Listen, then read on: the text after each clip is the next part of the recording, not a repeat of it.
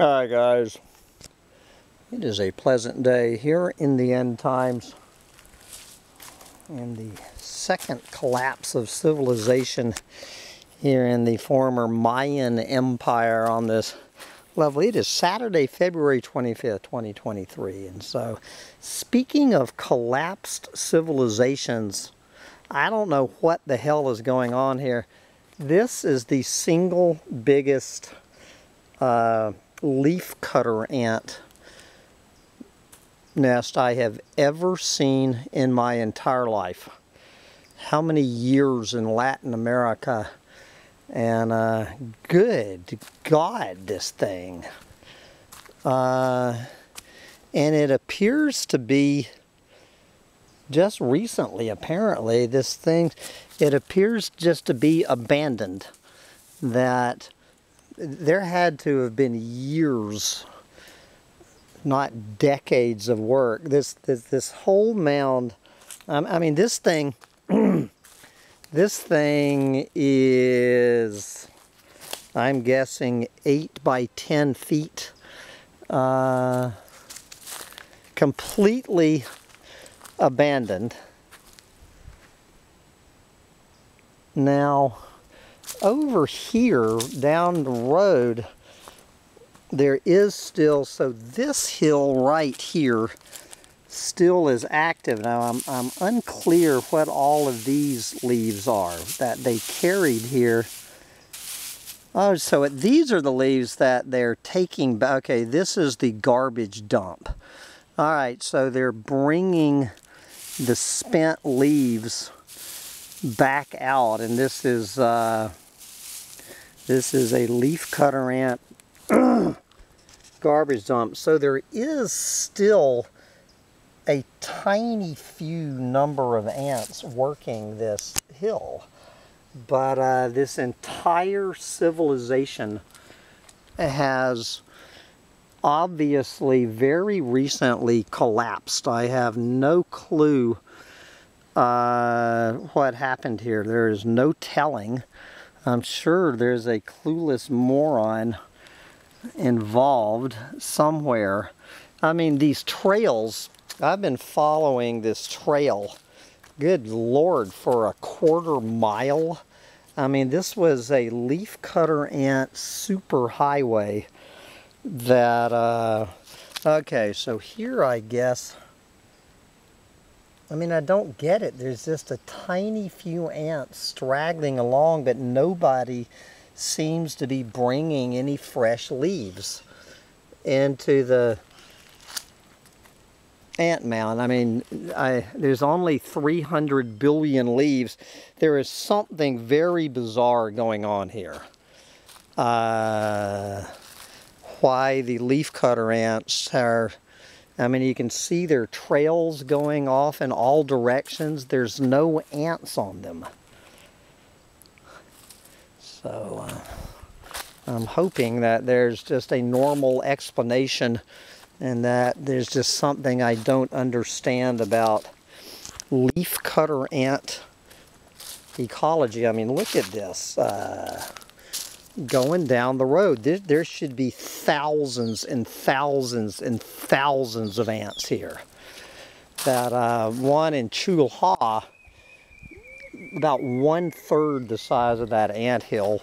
But, you know, it looked like, I mean, just an absolute bevy of activity. I'm talking a half hour south of here, just a few days ago. There's something weird going on and Speaking of weird things going on, well, I don't believe it, here is a butterfly. You know, so I've been down here for four weeks in the, uh, both the Yucatan Peninsula and in Belize. And in four weeks, I have seen one family of monkeys, one family of monkeys in Chulha, and one deer in Chula in, in one month down here. Uh, I've seen probably, have I seen 10 iguanas since I've been here. Maybe 10 iguanas one deer, let's call it six monkeys. And uh, it's just a, what they call a biological desert. There's just like zero animals down here. Uh, there's some parrots flying around. Some kind of weird bird woke me up this morning. There's some sort of Mexican blue jay. Uh, but all in all, you know, I have I have not seen one snake. Okay, I uh, other than those iguanas, there, there is one species of lizard I have seen in a month. I have not seen one of those little, they call them chameleons, I guess they're called anoles. You know, those little things that go from brown to green. I have not seen one single anole, whatever you call those things, uh, not one. I have not seen one snake. Okay, we have traveled how many by bus. Now, I wouldn't necessarily be able to see the roadkill from the uh, bus window that well, but as far as I know, from Cancun, Mexico to San Ignacio Belize, I do not recall seeing one single dead animal in the road. Never once. Never once. Uh, no turtle, no snake. Uh, it's like every single animal down here uh, is just gone. Gone. Uh, you know, if I was down here 50 years ago on that trip and uh, we were actually doing a study on those little lizards what they call chameleons. We were actually studying them uh, as part of that that trip. I have seen in Bacalar there in that uh, real pretty undeveloped lot there was this what do you call them a flock of about uh, 20 or 30 butterflies. So one time I saw a bunch of butterflies. Uh, okay here's a white butterfly. But I mean it's uh, I see, oh, squirrels, squirrels. All right, probably seen in four weeks, I might have seen six squirrels. Forgot about the squirrels. Uh, so there you go.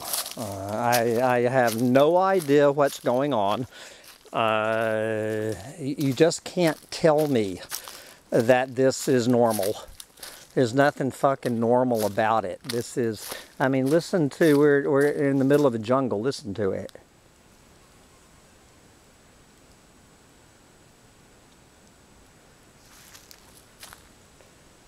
I have more wildlife at Bugs in a Jar farm on my 14 acres uh, than, than I have seen in the entire Yucatan Peninsula.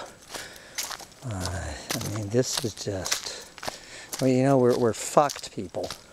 We're totally fucked. Nobody can sit here and tell me that this is normal. I think, uh, you know, that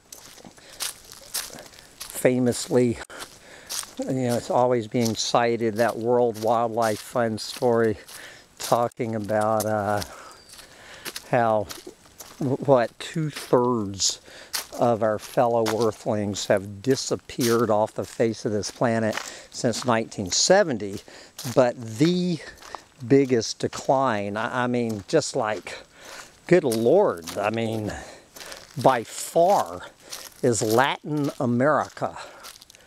How, uh, you know, mainly talking mammals. Uh, mammals and birds and It's just it's just unbelievable that you that I could walk. I have been out walking down this trail through the jungle. I don't know. I guess I've gone about five miles today. Okay, we have a butterfly. I guess I've gone about five miles down this trail. I have seen some blue jays. I hear a woodpecker. Okay, we have a woodpecker up in that tree. Blue jays and a woodpecker. Uh, you know, not one lizard running across the road, not one little snake.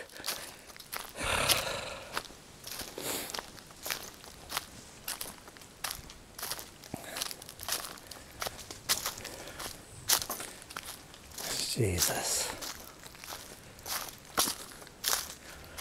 A biological desert. I've been dealing with these biological deserts down here in Latin America for uh, how many years, but uh,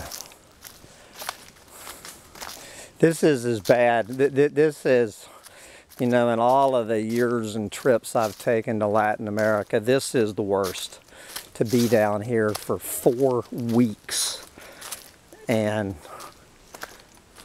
to see as few uh, to see as few animals as there are uh, down here. Well, I don't know if that's my road or if that's my road. Ah, fuck. I am lost. I am lost in the jungle.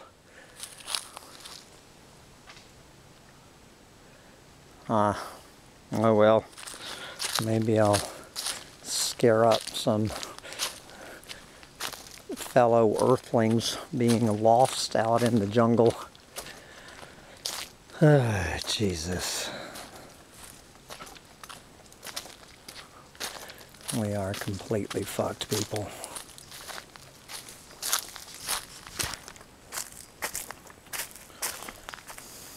I'm off to find a kitchen to make a ham and cheese sandwich. If I can figure out which fucking road I'm supposed to be on. Get out there and enjoy your biological deserts while you still can. Bye guys.